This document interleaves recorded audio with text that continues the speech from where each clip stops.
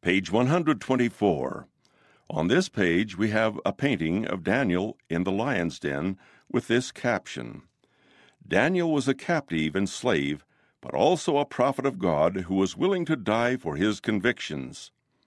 Was integrity ever placed on a higher plane?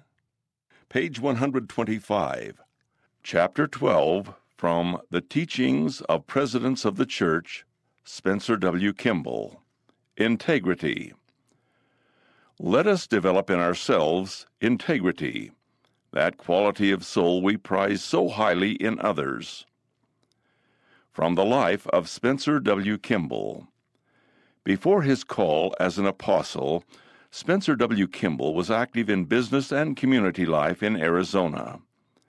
He was co owner of an insurance and real estate business and participated in local and statewide service organizations. In these matters, he was known for his honesty and integrity. It has been written of him personal rectitude lay at the heart of the perceptions others had of Spencer W. Kimball. He was always a straight arrow, delivering what he promised and negotiating with candor and without devious motives. Integrity was part of his character from the days of his youth, as the following account demonstrates. Spencer and some of the boys borrowed a horse and an old buggy to use when their science class at school went on a field trip. On the rough road, a buggy spring broke. The next day, Spencer explained to his friends, We ought to all pitch in some money to pay for the broken spring, but no one offered to help he persuaded them, saying, That spring is going to be paid for if I have to do it myself. Speaking at a general priesthood meeting in October 1974, President Marion G. Romney, second counselor in the first presidency, pointed to President Kimball's example. Throughout the years, he has been a pattern of integrity. No one doubts that he would discharge the sacred trust the Lord has placed upon him at the peril of his life. How glorious, men of the priesthood, it would be if all of us possessed the integrity of a President Kimball. Page 126. Teachings of Spencer W. Kimball. Integrity is fundamental to good character. Integrity, the willingness and ability to live by our beliefs and commitments is one of the foundation stones of good character, and without good character, one cannot hope to enjoy the presence of God here or in the eternities. Integrity is a state or quality of being complete, undivided, or unbroken. It is wholeness and unimpaired. It is purity and moral soundness. It is unadulterated genuineness and deep sincerity. It is courage, a human virtue of incalculable value. It is honesty, uprightness, and righteousness. Take these away, and there is left but an empty shell. Integrity in individuals and corporate bodies is not to ask, What will others think of me and my practices? but, What do I think of myself if I do this or fail to do that? Is it proper? Is it right? Would the Master approve?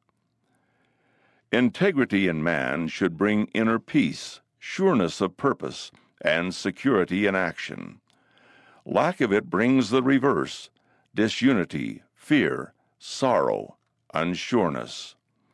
It would be well if all of us would take frequent inventory to see if, hidden away under the rugs and in the corners of our lives, there might be some vestige of hypocrisy and ugliness or error. Or could there be hidden under the blankets of personal excuse and rationalization some small eccentricities and dishonesties? Are there any cobwebs in ceilings and corners which we think will not be noticed? Are we trying to cover up the small pettinesses and the small gratifications we secretly allow ourselves, rationalizing the while that they are insignificant and inconsequential? Are there areas in our thoughts and actions and attitudes which we would like to hide from those we respect most? We show integrity by keeping our covenants with honor. Page 127. When we make a covenant or agreement with God, we must keep it at whatever cost. Let us not be like the student who agrees to live by certain standards of conduct, and who then breaks his oath and tries to see how long he can get away with his deceit. Let us not be like the missionary who agrees to serve the Lord for two years, then wastes his time with laziness and rationalization. Let us not be like the church member who partakes of the sacrament in the morning, then defiles the Sabbath that afternoon. By taking our covenants lightly, we will wound our own eternal selves. Self justification is easy, and rationalization seductive.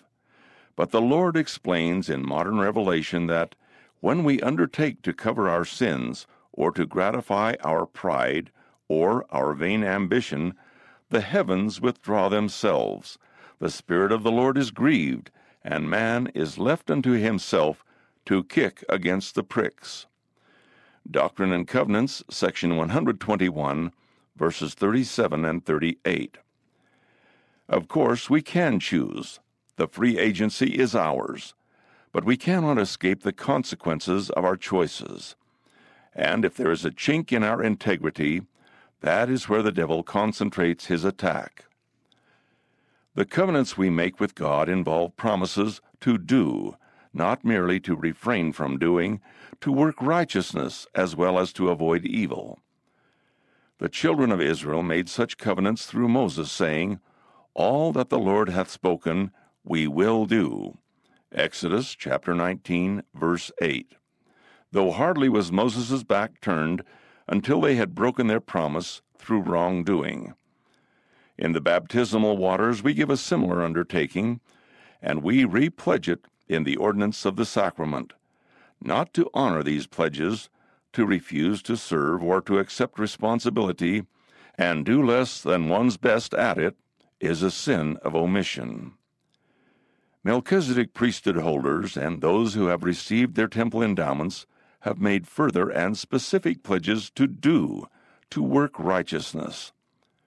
The Lord has expressed the mutual pledges between our Heavenly Father and the priesthood holders as an oath and covenant. Doctrine and Covenants, section 84, verse 39. One breaks the priesthood covenant by transgressing commandments, but also by leaving undone his duties. Accordingly, to break this covenant, one needs only to do nothing. Page 128. At the top of this page, we have a picture of a congregation who is receiving the sacrament, and the following caption The covenants we make with God involve promises to do, not merely to refrain from doing, to work righteousness as well as to avoid evil. Keep your promises, maintain your integrity, abide by your covenants. Give the Lord this year and every year your high fidelity and fullest expression of faith. Do it on your honor, and you will be blessed now and forever. If we are dishonest, we cheat ourselves. Almost all dishonesty owes its existence and growth to that inward distortion we call self justification. It is the first and worst and most insidious form of cheating. We are cheating ourselves.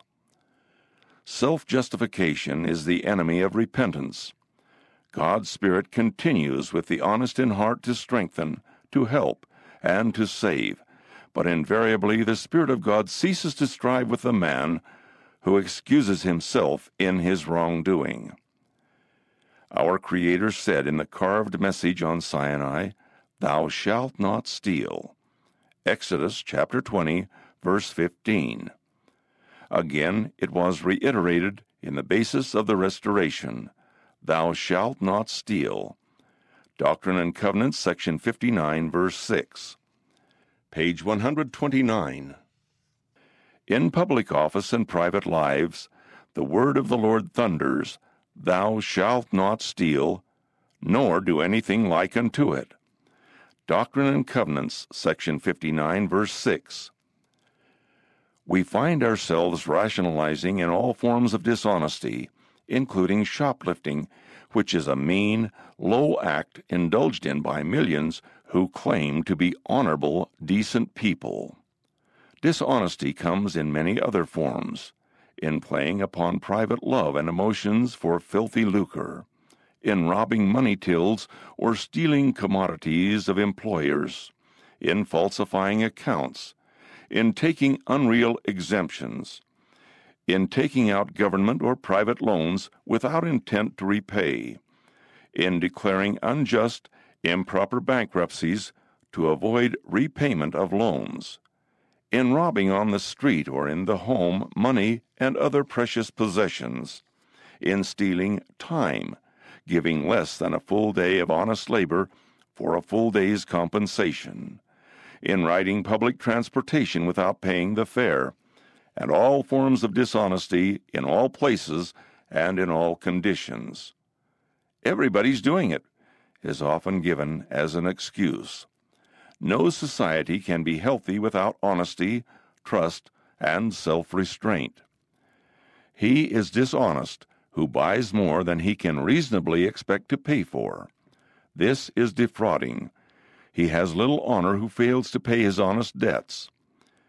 It would seem to me that every luxury one enjoys at the expense of a creditor is not wholly honest.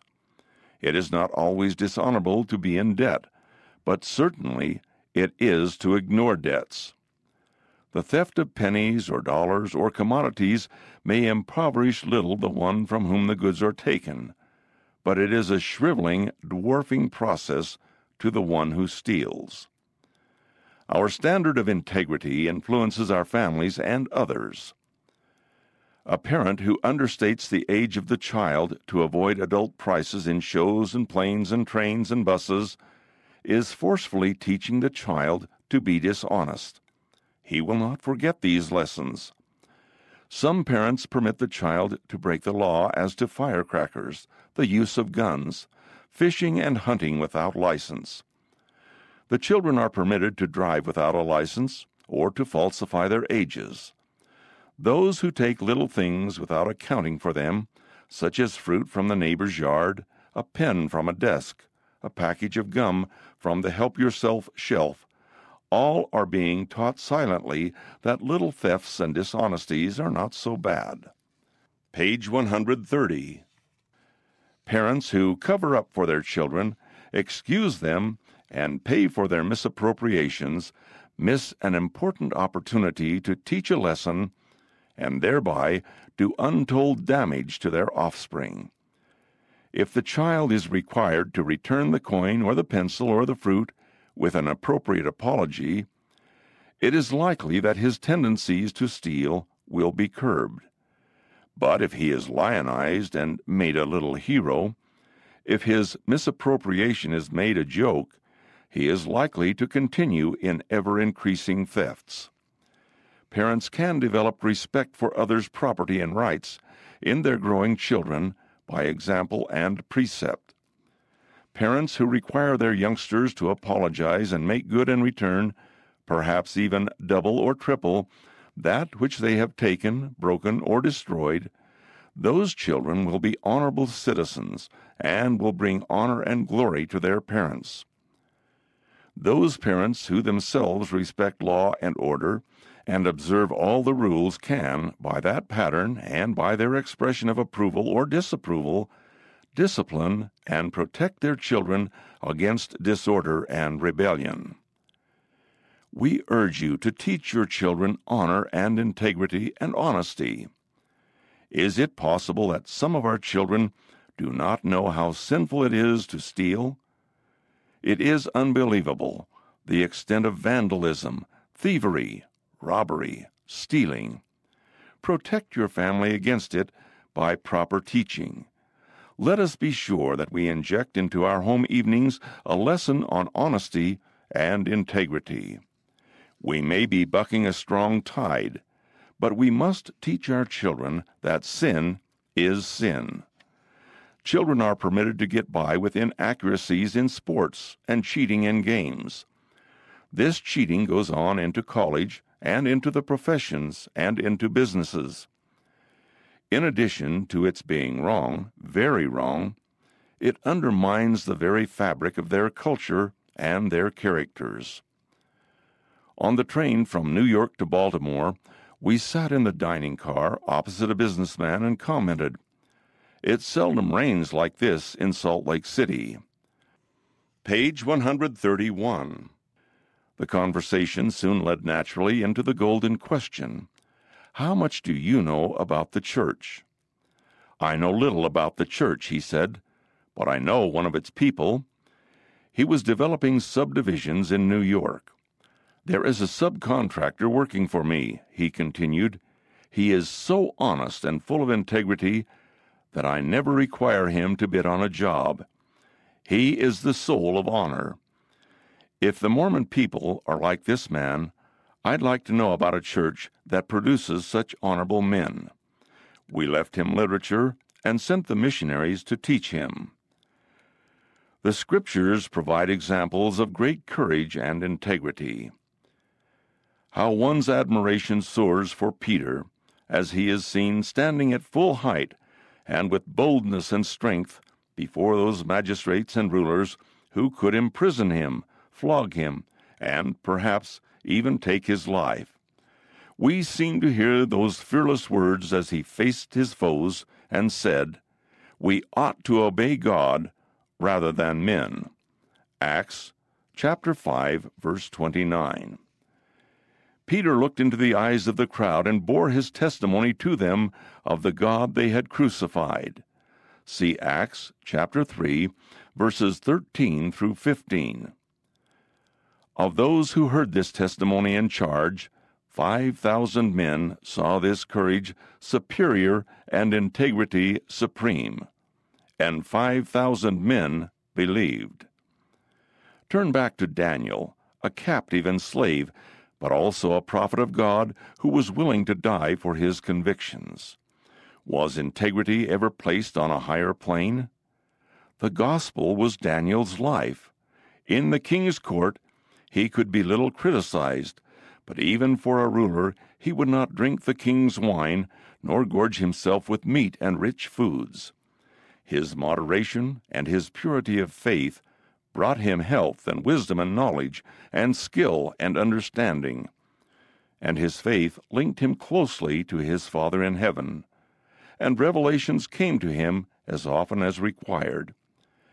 His revealing of the dreams of the king and the interpretations thereof brought him honor and acclaim and gifts and high position, such as many men would sell their souls to get. But when the choice was put to him of ceasing to pray or of being cast into a den of lions, he prayed openly and submitted to the punishment. See Daniel chapters 1 through 2 and chapter 6. Page 132. On this page, we have a painting of Shadrach, Meshach, and Abednego in the fiery furnace with this caption Shadrach, Meshach, and Abednego faced the fiery furnace rather than deny their God. The Lord deliver them from the fire. We remind ourselves of the integrity of the three Hebrews, Shadrach, Meshach, and Abednego, who, like Daniel, defied men and rulers to be true to themselves and to keep faith with their faith. They were required by decree of the emperor to kneel down and worship a monumental image of gold that the king had set up. In addition to losing caste, losing position, and angering the king, they faced the fiery furnace rather than deny their God. When the prearranged sounds of the cornet, flute, harp, and other instruments reverberated through the area, and the masses of men and women everywhere filled their homes and the streets with kneeling worshippers of the huge golden image, three men refused to insult their true God. They prayed to God, and when confronted by the raging and furious emperor king, they courageously answered in the face of what could be certain death. Page 133. If it be so, our God, whom we serve, is able to deliver us from the burning fiery furnace, and he will deliver us out of thine hand, O king. But if not, be it known unto thee, O king, that we will not serve thy gods, nor worship the golden image which thou hast set up. Daniel chapter 3, verses 17 and 18. Integrity. The promises of eternal life from God supersede all promises of men to greatness, comfort, immunities. These men of courage and integrity were saying, We do not have to live, but we must be true to ourselves and God. No virtues in the perfection we strive for are more important than integrity and honesty. Let us then be complete, unbroken, pure, and sincere, to develop in ourselves that quality of soul we prize so highly in others. Suggestions for study and teaching. Consider these ideas as you study the chapter or as you prepare to teach. For additional help, see pages Roman numerals 5 through 9. Review the second paragraph on page 125. What qualities of character did young Spencer's reaction reveal? What similar experiences might we have today? Study the first four paragraphs on page 126, looking for words President Kimball used to define integrity. When have you seen that integrity brings inner peace, sureness of purpose, and security in action? When have you seen that lack of integrity brings disunity, fear, sorrow, unsureness? What are some attitudes about covenants that hinder a person from having integrity? For some examples, see pages 126 through 127. How can we overcome these attitudes? Ponder the integrity with which you keep your covenants.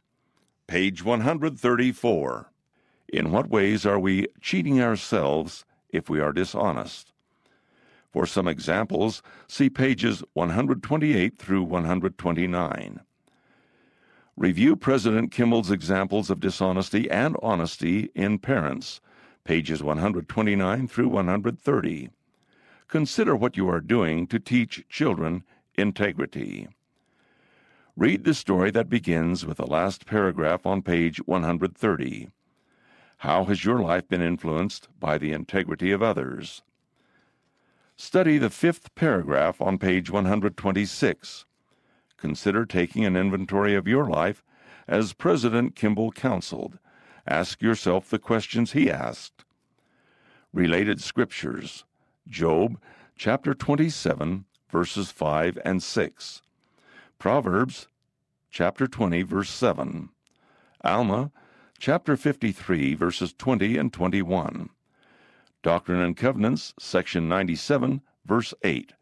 Doctrine and Covenants, section 136, verses 20 and 25 through 26. End of chapter 12 the Teachings of the Presidents of the Church, Spencer W. Kimball. Integrity. Scriptures relating to Chapter 12 of the Teachings of the Presidents of the Church, Spencer W. Kimball. Integrity. Doctrine and Covenants, section 121, verses 37 and 38. 37.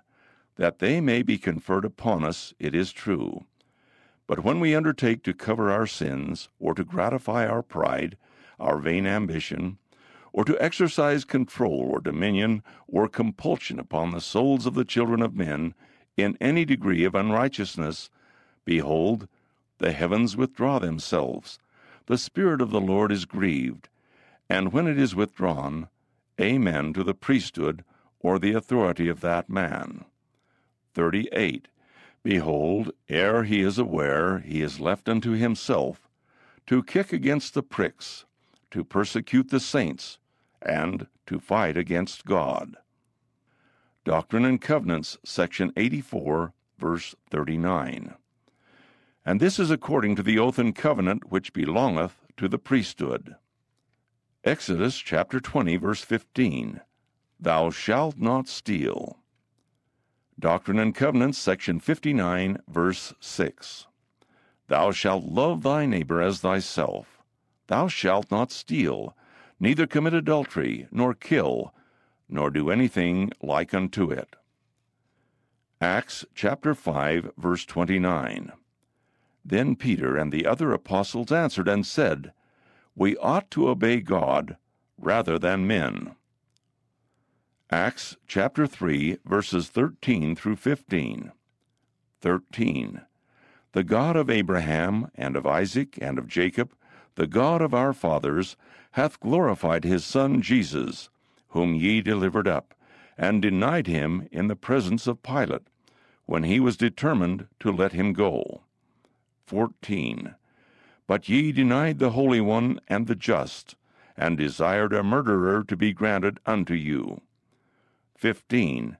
And kill the Prince of Life, whom God hath raised from the dead, whereof we are witnesses. Daniel chapter 3, verses 17 and 18. 17. If it be so, our God, whom we serve, is able to deliver us from the burning fiery furnace, and he will deliver us out of thine hand, O king. 18. But if not, be it known unto thee, O king, that we will not serve thy gods, nor worship the golden image which thou hast set up. Job chapter 27, verses 5 and 6. 5. God forbid that I should justify you till I die, I will not remove mine integrity from me. 6. My righteousness I hold fast, and will not let it go. My heart shall not reproach me so long as I live. Proverbs chapter 20, verse 7. The just man walketh in his integrity, his children are blessed after him. Alma chapter 53, verses 20 and 21. 20.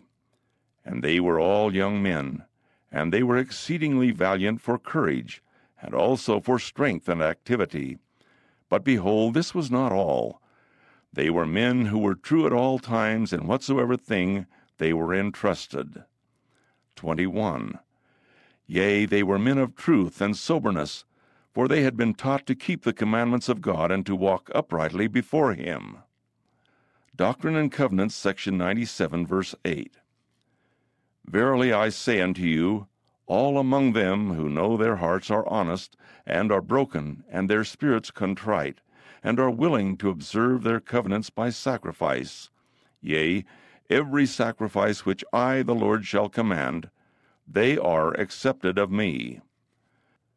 Doctrine and Covenants, section 136, verse 20. Seek ye, and keep all your pledges one with another, and covet not that which is thy brother's.